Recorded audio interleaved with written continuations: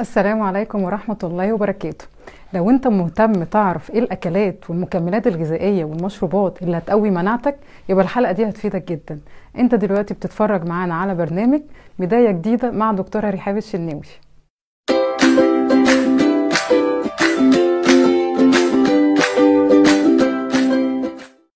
أهلا بيكم.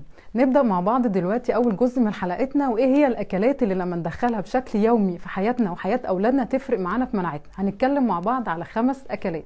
أول حاجة الشوكولاتة الغامقة. الشوكولاتة الغامقة يا جماعة مفيدة جدا. الشوكولاتة الغامقة مضاد أكسدة قوي ومقوي للمناعة. كمان فيها مادة التريبتوفان. المادة دي بتقلل الضغط العصبي وبتخلينا هاديين ده ده بينعكس على طبعا إن إحنا بنحافظ على نسبة الكورتيزول في الدم فبالتالي بتقوي المناعة. ولكن الشوكولاتة الغامقة لما ناخدها ما يكونش فيها سكر وتبقى من 30 ل 40 جرام. تاني حاجة هنتكلم عليها المكسرات. المكسرات مفيدة جدا لينا ولولادنا. المكسرات مضاد أكسدة قوي جدا كمان فيها مادة الأوميجا 3 المكسرات هنتكلم على نوعين مهمين. أول حاجة عين الجمل. طبعا عارفين كلنا شكل عين الجمل. ده بيقول قد إيه مدى أهميتها. شكل المخ.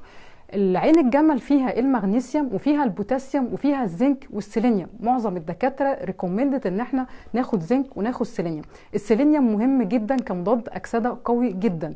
ربنا خلق جوانا حاجة اسمها glutathione peroxidase enzyme. ده مضاد أكسدة طبيعي. وظيفته إن هو بيحمي الخلية بتاعتنا من حاجة اسمها free radical شوارد حرة. بتبدأ تهاجم الخلية فنبص الخلية بتاعتنا تعجز بسرعة ندخل في أمراض بسرعة. إيه اللي بيخلي الجلوتاثيون يشتغل اللي ربنا خلقه؟ السيلينيوم. عشان كده مهم جدا إن إحنا ندخل المضادات الأكسدة يوميا في حياتنا. تاني حاجة هنتكلم عليها من المكسرات اللوز. قلنا الحلقة اللي فاتت اللوز الميكروبيوم بيحبه فبالتالي بيحسن الهضم فبالتالي بيقوي المناعة. اللوز بيحتوي على الكالسيوم والبوتاسيوم والمغنيسيوم. احتياجنا اليومي للمكسرات قد إيه؟ كل يوم في قبضة إيدك شوية مكسرات. ونحاول يا جماعة إن إحنا نحطها في الميزانية بتاعتنا كل شهر 300 400 جنيه مكسرات أو من 300 500 جنيه هتفرق معانا كتير. تالت حاجة نتكلم عليها التوم. وكلنا عارفين أهمية التوم. بس قبل ما نتكلم عن أهمية التوم لازم نقول مين الناس اللي ما تاخدش التوم أو ما تاخدش الجرعة اللي إحنا هنقول عليها النهارده. رقم واحد مريض السكر. الحوامل الأطفال الناس اللي عندها مشاكل في المعدة أو الجهاز الهضمي. الناس اللي عندها انخفاض في ضغط الدم كل الناس دي ما تاخدش الجرعة اللي إحنا هنقول عليها. طبعا كل التوم بيحتوي على مادة الألسين مقوي قوي جدا للمناعة كمان مضاد للفيروسات.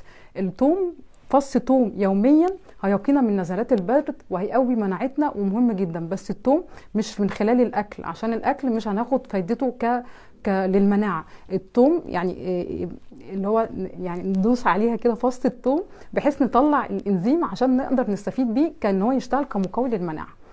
رابع حاجة وسبحان الله عمري ما كنت أتخيل أنا ممكن أتكلم عليها النهارده أبويا ربنا يديله الصحة كان دايما يقول لنا زيت حبة البركة يا ولاد. زيت حبة البركة إحنا ما كناش بنسمع الكلام. زيت زيت حبة البركة مهم جدا. زيت حبة البركة ندخله لاولادنا إزاي؟ أو إحنا ناخده إزاي؟ عشان طعمه شوية. لو طعمه شوية صعب نجيب زبادي نحط عليها فاكهة مثلا توت فراولة كيوي نكتر لهم من الفاكهة ومعلقة عسل نحل ونحط معلقة صغيرة زيت حبة البركة عشان ما يحسوش بطعمها. بس هتفرق معانا كتير. آخر حاجة هنتكلم عليها وهي طبق السلطة. ما ينفعش إن إحنا ما نتكلمش عن طبق السلطة. مهم جدا. حطوه كل يوم لأولادكم في الأكل.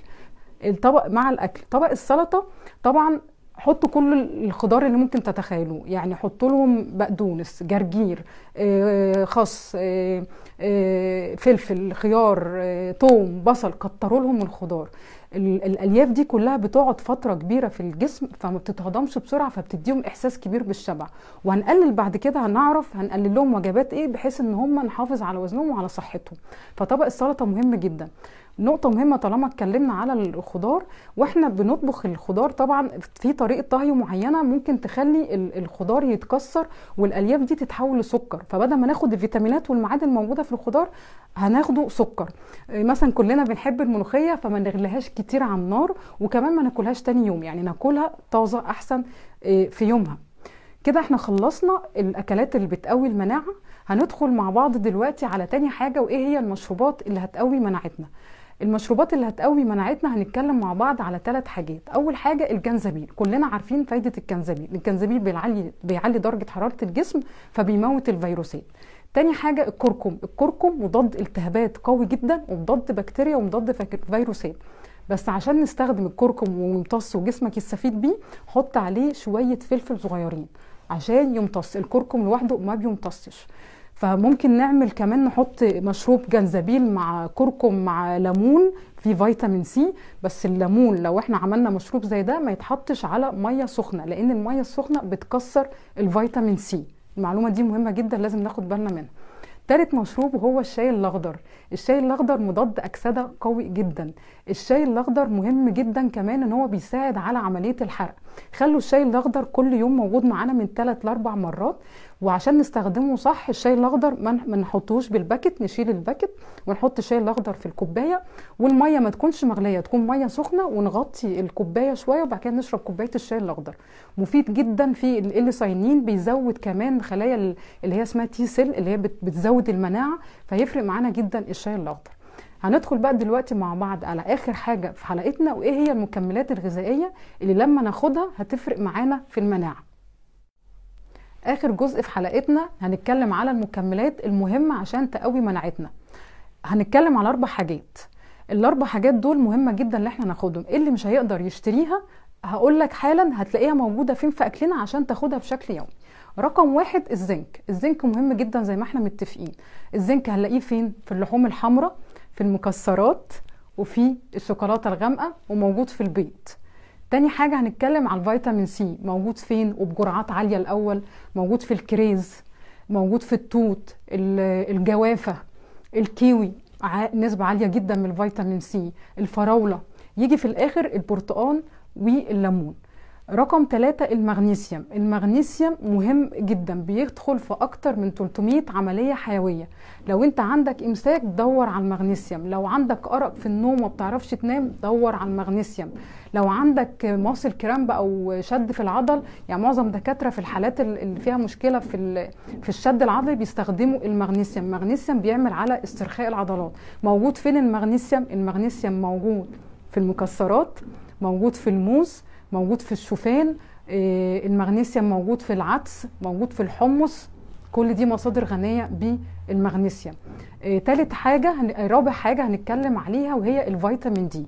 لو انت عندك نقص في الفيتامين دي مناعتك بايظة. الفيتامين دي بنسميه pre hormone بيدخل في, في تركيب كل حاجة. فالفيتامين D مهم جدا.